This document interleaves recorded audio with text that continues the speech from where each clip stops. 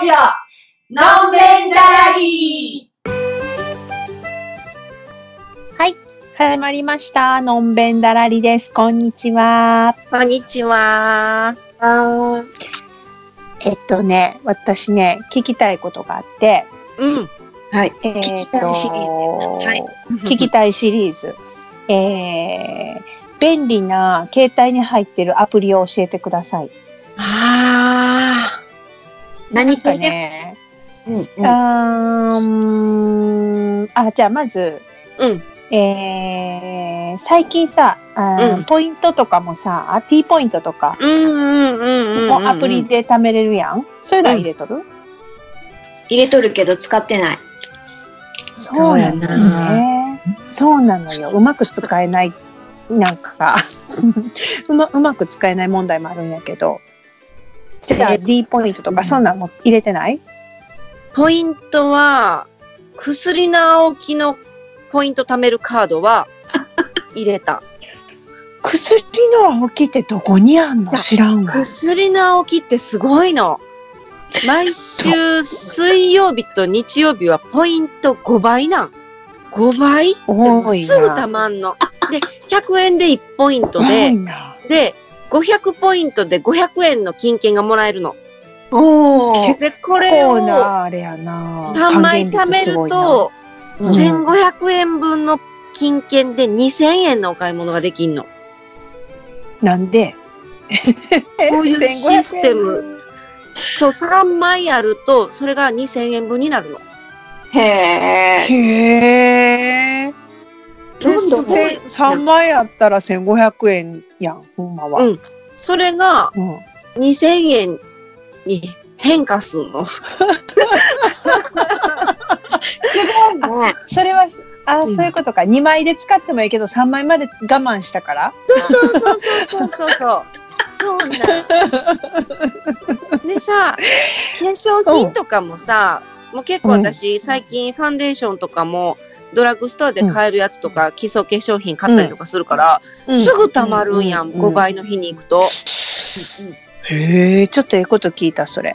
え、それアプリじゃないよね？じゃあ、紙なんよね。うん、で、それは、ポイントはいくら貯まったか提示したり、そのレジでピッてやってもらうのはアプリで、金券は紙で出てくる。へえ、へえ、あ、そうなんや。うん、でも最、近、そうか、ドラッグストアはウェルシア T ポイントやな。あー、でも月曜。どれぐらいの還元率なんか全然わからん。月曜日や。な。そうなんや。それもわからん。その何曜日かなんて、杉薬局が何曜日かなんて。そんなん全然わからんわ。杉薬局はさ、だってうんお金で返ってこないやん。物やん。そう。あ、そうや。後ろにいっぱい置いてあるわ。そうそう。うんでも、そんな別にって感じやで。うん。あ、違う違う。アプリの子供おもちゃ話と。かもらったな。アプリ、あそうやねアプリ。うん。うん。はい、アプリ。まあ、それはでも、ポイントはそんな感じ。以外で、えうー、ん何を入れてらっしゃいますか？えっとね、うん。見てみてください。見てみてるけど、うん一番よく開くの、え、でもやっぱショッピング系かな。便利っていうより、よく見てしまうのは、は、メルカリ？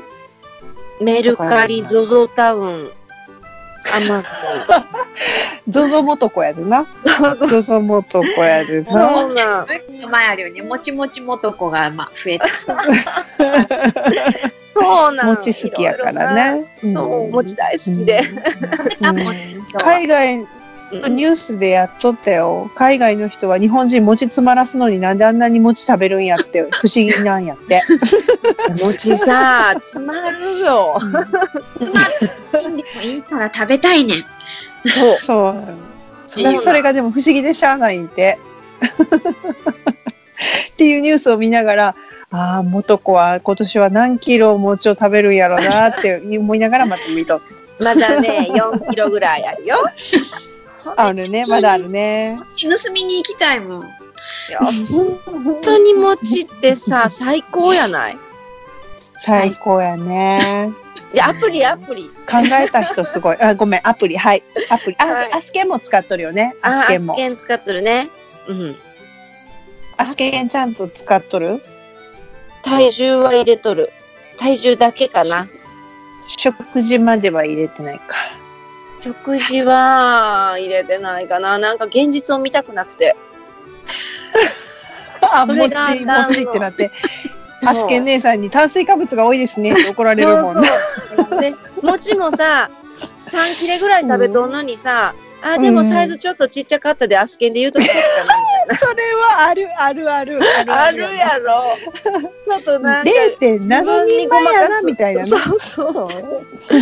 ほんともう、最低。そうね。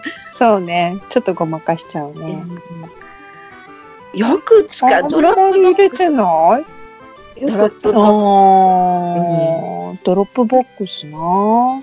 ドロップボックスね。はい、はい、はい、はい、はい。はい。はいはい。ジツールっていうね、気圧がかかるアプリ。あー、あるあるあるある。なるほど。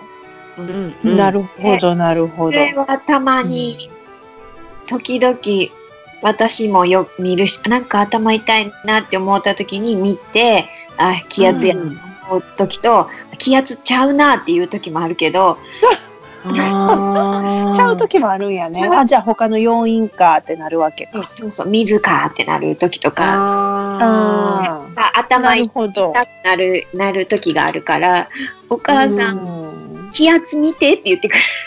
ーへーなるほどね。ここれはね、使える、頭痛ル。なるほど。頭痛るね。私、それしばらく入れとって、うん。うん頭痛い時に見とったんやけど、気圧じゃなかったん、全然。関係なくて、気圧ちゃうかって言われたよね曇りの日は頭痛いとか言っとったけど、全然関係なかった。だから、私多分水飲まなあかんのやな。ああ、水やに、水、水。水やなが大きいよ。うん。あ、私さ、この間、うん。タクシーを呼べるアプリを入れたんよ。ほうほうほう。ウーバー的な。いいえ、名鉄タクシーとかが、あここに、この時間に来てくださいって呼べるアプリがあって、うん。うんで、い入れたん。うん。で、あの、年末やったんやけど、うん、使えた？タクシー手配してって言われて、夜中やって、まあ、電話す、電話しても全然繋がらんくって、アプリ、があるので便利ですって、名鉄タクシーさんのサイトに書いてあって、あ、じゃあそれ入れようと思って入れて、うんうん、で、地図上でここに来てほしいって、ピンポイントで結構できるんよ。へえ。ここにね、アンジに。うんうんうんで、そした、ら、来たなんか、もう、うん、今はいっぱいで、アプリからは使えませんって出て、結局、イラってしたんやけど。うん。でも多分、繁忙期はあかんけど、そうじゃなければ、いけ、うん使えるんかもしれん。ね。うん。うん。本当に来るかドキドキしてしまうけど。うん。ウーバーみたいな感じやね。うん。そうやね。うん。アプリじゃないけど、うん。三重交通バスの、うん。なんかどこに今バスがいるかっていうのを検索できえる機能があるの。あるよね。うん。なんやったかな知らんかった。で、バスってさ、絶対遅れてきたりするやん。うん。だから、そのバス停で、なんか、もう行ったかなどうしようまだ来てないかなとか、うん、不安になった時に、三重交通、なんとかって検索、今どことかって検索したら出てきて、うん。ね、今どこどこ何分前に出発とか、出てくるよって。帝国通りとか。それええね。乗乗る？遅れてるとかね。うん。バス。バス乗らんけ最ど、近乗らんけどな。時あ、に、本当や、うんあるある。うん、うん。だよね、その、帝国とかさ、うんう。うんん。そういうの5分遅れとかさ、言ってもらえるとさ、一つのさ、バス停にさ、うん。横地とかでもさ、一つのバス停にさ、なんていうの？な、三、三種類か四種類のバスが、ババスが走っとるやん。うんうんうんうん。一つがさ、うんなんか、私立わ病かるよ。うんうんうんうんうん。あれはわからんな。あれがわからんで、そういうなんか案内とおばか。ちゃんは聞くよ。だから入り口で。これはどこどこ行きますの？って。ああ、でも聞くのが一私も聞番くようになってくる。ううんん。一番早いよね。うん聞く。ちょっと聞けやんときあるやん。ない 何？中に学生がいっぱい乗っとって、ちょっと聞くのためらわれるとか？いや、。シーンってなっとるときとかさ、もうなんか、だって、そうかもわ三重。交通、三重交通バスって後ろから乗るから、うん前の、前のあかんからめっちゃでっかい声で聞かなあかんもんね。そうなん。え、あそこマイクついとんの？ちゃうの？え後ろに？運転手さんはマイクついとるけどさ、うん。あ、こっちはマイクじゃ喋りやんねや。多分、声は聞こえるよね、バス、バスの運転手さんの声は。聞こえる。聞こえる。うん。でも、こっちは大きい声で呼ばなあかんのか。うん。それはちょっと恥ずかしいな。うん。いやうんそうやな。そういう5分遅れですとかさ、なんか、そういう何、何系統は何番みたいなのとかがさ、丁寧に書いてあると、うんうん。優しいなと思ってうん。嬉しいっ うん。ていう。今年聞けのました。うん夏に思ったんだよね、それを。あかねは。いやよ、去年の夏。夏？あ、こ去年か。あ、去年の夏ね。去年の夏あえおそうそう、小山田美術館にね、9時半に小山田美術館に着いたのに、そうやった、そうやった。頭がえ9時半に家を出るっていう。そうそう。え9時半ええ9時半と思ったらありましたな。洗濯物を干していますって LINE が来て。なんで？えーっつって。迎えに行ったもんね、バス停まで。。そう。ありましたね。またさ、四日市市内のことやでわかるよ。うんうん。飛び乗ってとりあえずあっちの方まで行くなと思って、半ば川島とか書いてあったから行けると思って、うんうんたでいいけども、全然知らんエリアやったらもう泣くよね。全然。泣くよね。無理やうわ。んそうね。うん話やったアプリの話やん。アプリ、アプリ、そうそうそう。いや、でもさ、今本当にその三重交通のやつ調べたら、三重交通バスロケーションシステムって書いてそうそうあるわ。そうそう、それそれそれそれ。素晴らししい。かもさ、新機能追加、多言語案内。これ大事やな。おお、そうやね。めちゃめちゃ外国の人乗ってくるもん。うん。あ、そうん。う。へえ。他かな、ベトナムとかやと思うんやけど、うん。うん。タイとかフィリピンとかそっち系の人たちやと思うんやけど、めちゃめちゃ乗ってくし、ここで乗ってここで降りるみたいなとこで乗り降りするね。ど、どこで降りてくんやろ。いや私の中では、まあ、乗る場所はどこでもいいよ。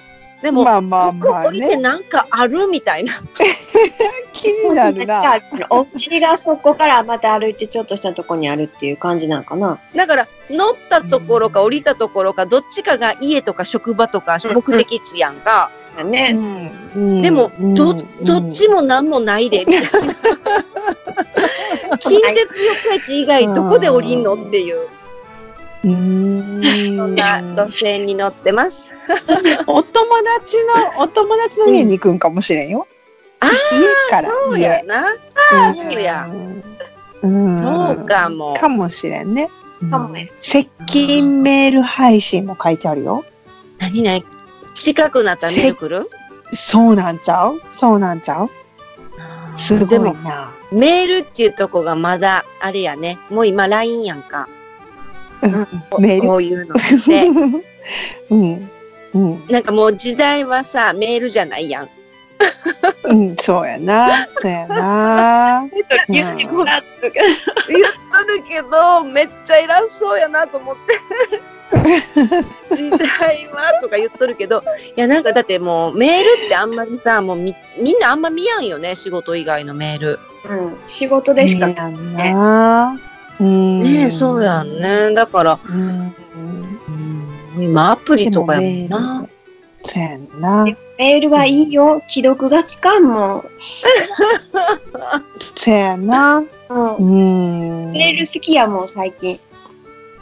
でも、あ逆にね。あえて開封通知要求するよ。仕事は。届いてないですとか言われると、開封通知は来ましたけどねって思っとる。あー そうかそうか。うんせやな。よしあしあるな。うん。あーでも、まあ、既読もよしあしやね。そうやんね。う。うんやきもきする時あるね。そうやそうね。な、そうな。はい。うん。時間来ました。はい。はい。という。そうね。それが結構一番よく使うかも。私、あの、アラームの。なんだかんだ言ってもアプリ。うんああ、一番使うの、なんやろ、インスタかな？LINE そう、そうあか。、LINE か。うんそうやんな。LINE なくしてはもうなんかちょっと無理やな。そうやね。はい。はい。というわけで、意外となんかもっとお宝アプリみたいなのが出てくるかと思いきや、そうでもなかった。店解雇してみよ普う通でした。これ。そうやね。そうやな。うん、そうやね。持っとって当たり前と思っとるけど、案外、なんなんそのアプリみたいなああ、あるかも。あるかもね。そうやね。のが。今度はちょっとお互いのスマホを見ながらやってみましょう。はい。はい。というわけで、また来週。はい、さようなら。